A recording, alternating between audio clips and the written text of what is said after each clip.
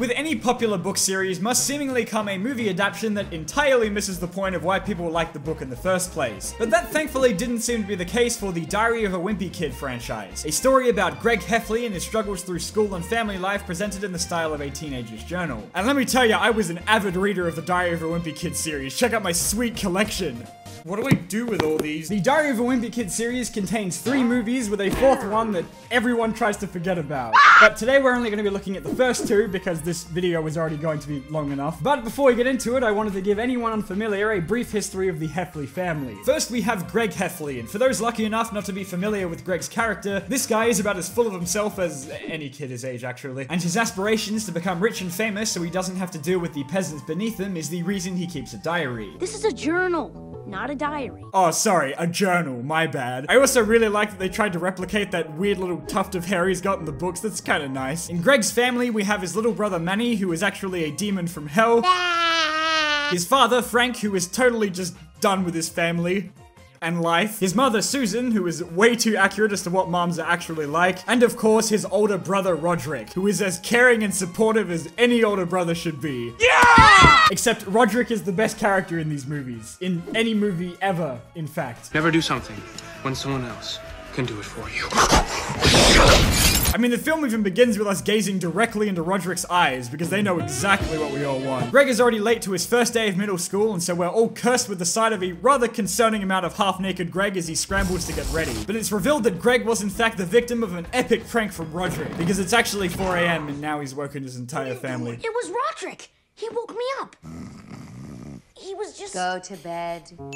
What a fucking legend. The intro is done in the style of the book's illustrations, which is pretty damn cool. It is very strange to see them move, though. What I really like about this movie is that it accurately depicts school as an absolute hellhole. We then get to meet Rowley, Greg's way too pure best friend. Donde está la biblioteca? Oh, and there's also Fregley. Wanna see my secret freckle? This kid keeps me up at night. I guess this is where the cool guys hang out. Afterward in PE class, both Greg and we as the audience are introduced to the infamous cheese touch. Stop! Good God, man! You almost got the cheese touch. I want to thank this movie for single-handedly ruining an entire year of middle school with this godforsaken cheese touch bullshit. Later back at home, Greg attempts to find Rodrick's yearbook back when he was in middle school. I didn't know Rodrick was into motorcycles. What did I tell you would happen if you ever went in my room again? I'm going to kill you. Literally kill you. I aspire to be as good of a brother as Rodrick. No timeouts, only death. Trapped in his room with an urgent need to pee, Greg chances an escape only to find out that Rodrick left ages ago. Nothing is more important in life than family. American Family Insurance. Back at school, the two search for a club to join and eventually settle on wrestling, where Greg gets his ass handed to him by Fregley. The news of Greg's humiliating defeat spread quickly and becomes the topic of discussion at the dinner table. Uh, I heard he got his butt kicked at wrestling. And what is wrong with you? Why would you sign up for something you don't have to do? Rodrick, please marry me. Thinking what he needs is a new best friend, but knowing he can't just dump Rowley, Greg instead plans to fix him by essentially molding him into another Greg Heffley. And believe me, the world does not need more Greg Heffleys. Yeah, hey Bryce. Cute butt. You go, Rowley, you're doing amazing, dude. My mom doesn't let me play with makeup anymore. Shut up, tool. It's Halloween night and Greg and Rowley are trick-or-treating, only to immediately be harassed by some random teenagers. Hey, Reflector Dude! Nice costume! Thanks, my mom made it. Why is everyone in this town such an asshole? Not satisfied with shattering their self-confidence and threatening their safety, they continue terrorizing these two young children until Greg can find shelter in his grandma's house. Ooh, ooh, ooh. After one botched attempt to scare them away, which somehow made the situation even worse, the two run for their lives as these friggin' psychopaths give chase. The only reason they lose them is because they head straight into the very spooky woods, which hide an even more sinister evil. Guys? Ah! Next up on things for Greg to fuck up is a position within the school safety patrol. Whoa, is that Coco? Sorry, safety patrol only. Sorry. This kid's entire year is ruined. Rowley's pretty lucky to have me as a friend. Yeah, you got that right. And just like that, Rowley is super popular at school because apparently seeing a broken hand is the highlight of these people's day. Hey, I- I'm the one who broke his hand. Then you're a jerk. Yeah, get fucked, Greg! With Rowley getting all the attention, Greg is finding himself feeling lonely. Run! His new attempt to make a name for himself is applying to fill in the vacant spot for the school's cartoonist. He asks Rowley for help, and it's here that he comes up with the greatest catchphrase to ever grace the big screen. Zoo-Wee Mama. It's the same joke every time. How the fuck do you not get the joke, Greg? He says Zooey Zooey. Mama. That shit is hilarious. We can't just do the same thing over and over. We can't if it's Zoo-Wee Mama. The kid makes a good point, man. I wonder what is in this cute little box. It's not a box, it's a brick, you dumb moron. Oops, I've been trying to open it all day.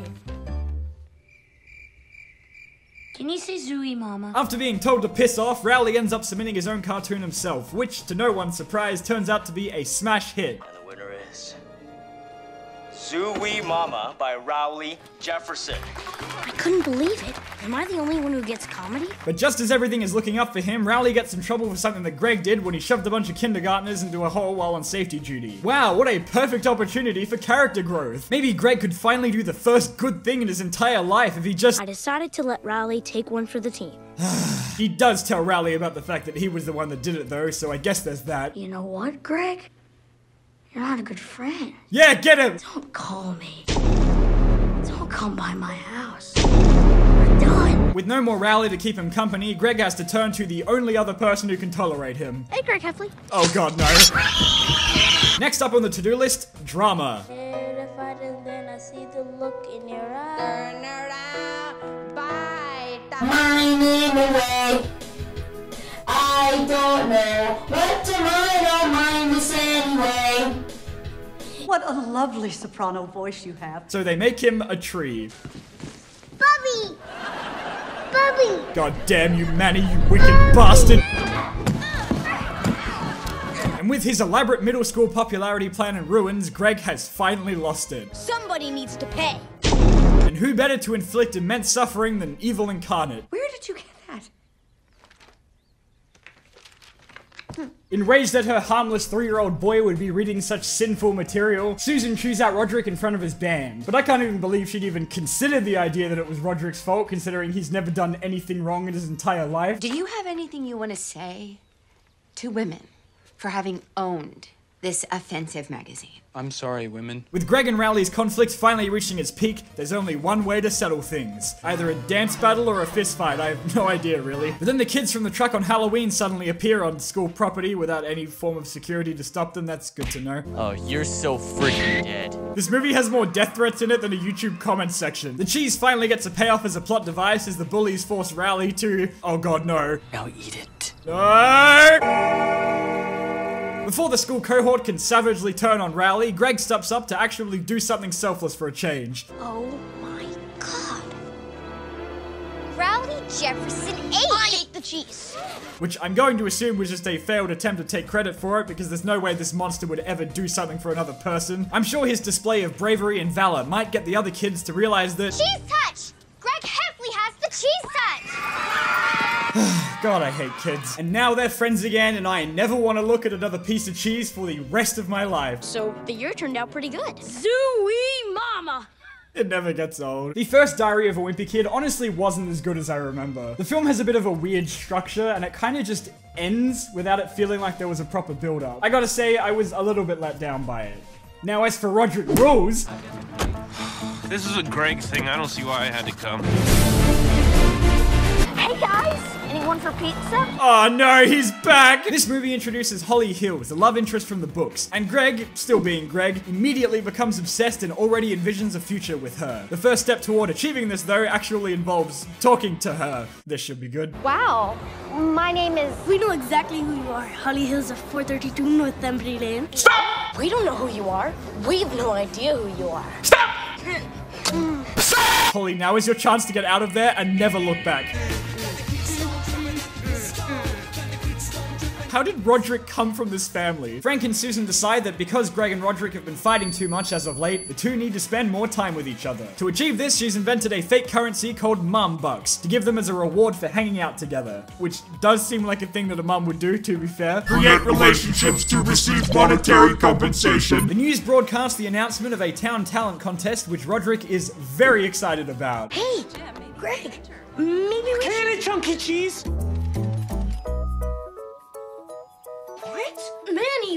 Done? I'm only three. Shut the fuck up, Maddie, you know what you did! When Greg returns to school, he finds out that, oh wow, look, Holly's in his class. Isn't that convenient? Rodrick comes to pick him up in his van after class, which you think would at least raise some suspicion, but as the last movie established, you can just enter the school with no problem, so. Get in.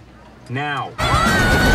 When they somehow manage to make it home without dying, Manny gives to Greg what Susan claims is an apology gift, and she won't even let him throw it away. You can see the smug grin on that scoundrel's face knowing that another one of his devious plans succeeded.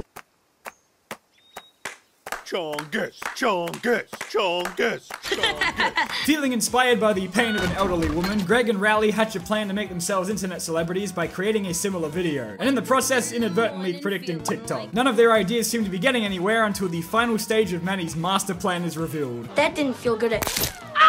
The next day on their way to church, Greg sits on something Manny was eating and it looks like he's done a poopy. Oh, and to add insult to injury, Holly's also there because of course she is. Rodrick, no, don't do it. Poop! He's pooped his pants! As you can see, the church is a holy place of tranquility and respect. Ah. Fed up with their behavior, Susan leaves the brothers at home by themselves to sort out their differences as they head out on a holiday. Oh. And don't have anybody over this weekend. Got it? Frank, no, you fool! Morning after, Manny ruins everything yet again by apparently being sick and causing their parents to head home early. Within an hour. Holy! The pair do a surprisingly good job cleaning up, with the only mistake being that they had to entirely replace the bathroom door. But come on, they won't notice that. Hey! What the? Look, don't! These, these are off limits! No touch! The two both agree not to tell their parents the truth, with the only weak link being Rowley. Hey, Rowley! What's new, huh? Let's just see how many views our videos got. It's gotta be thousands, maybe millions. Four? We only got four lousy hits? Yeah, I feel that, bro. Guess who wanted to join the big boy sleepover? Baby Wowie. You son of a bitch! Surprisingly, it didn't take Susan very long to realize that the door to the toilet is missing a lock, and while Rodrick is able to lie through his teeth, Greg isn't quite so calm about it. Two words. Bathroom. Door. It was Rodrick. He maybe it was his idea. He had the party. Someone wrote on the door, so we had to change it. God damn it, Greg! But he's able to convince her not to get mad at Rodrick by highlighting the fact that the two of them have been getting along better lately. You may not be half as lame as I thought you were. Here's my favorite scene in the movie, by the way. Somebody farted. Somebody farted. Five stars just for that. Rodrick then takes Greg out for a night after a series of failures to try to impress Holly, and I gotta say, it's surprisingly wholesome seeing the two of them getting along so well. Can't wait to see how this goes wrong. So, what did you boys do? Just hung out at the mall and talked about life. Uh oh. Can you explain what you're doing in this photo? That's not me. Genius. And now with the secrets all out in the open, everyone is back at each other's throats. You're my brother. She'll never be my friend. Ooh, shit! Their parents then dish out their punishments, the most severe of which is forbidding Rodrick from competing in the talent show. And then they dump them at their grandpa's retirement home.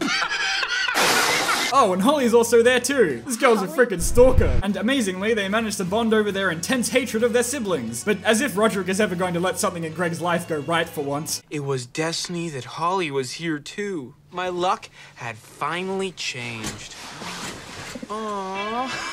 While he's asleep, he steals his diary, and Greg opts to give chase without even bothering to put some pants on, and dear God, I don't want to look at it! And in his panicked frenzy to get away, he somehow ends up in the women's bathroom. There's a in there!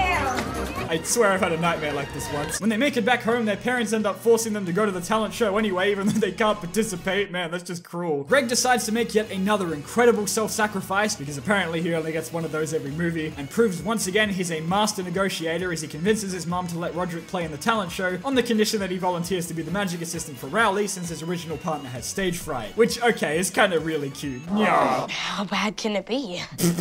Oh no. It starts off very rough, but they manage to make it work by turning it into an unintentional comedy. Be free, little friend. And now it's time for the moment we've all been waiting for. Welcome to the stage, Löded Diper! Oh yeah! And as it turns out, the crowd loves them. Just not for the reason they think. Dad, are we gonna tell them that the audience went crazy for mom's weird dancing? He's happy, she's happy. I say we keep this one between the two of us, okay? Frank, you are so wise. And yeah, that's about it for Rodrick Rules. The only problem with this movie is that there wasn't enough Zoo-Wee Mama. Where some book to film adaptations have failed, the Diary of a Wimpy Kid series succeeds at bringing both the humor and the characters to the big screen, as well as being entertaining films in their own right. And that's mostly because of Rodrick, baby. Seriously, Devin, I'm, I'm free later tonight if you are. I, I just want to hang out. If you guys want me to cover the third and fourth movies, by all means, please let me know, but I think this is plenty for now. Thank you all so much for watching, and a special shout out to this month's top Diamondbolt patrons. Ender Pigman 9, Gulag, Sergio, Pineapple Monster, Primal, and Zion Trail. And with that, I'll see you guys in the next video. Zoo-Wee Mama.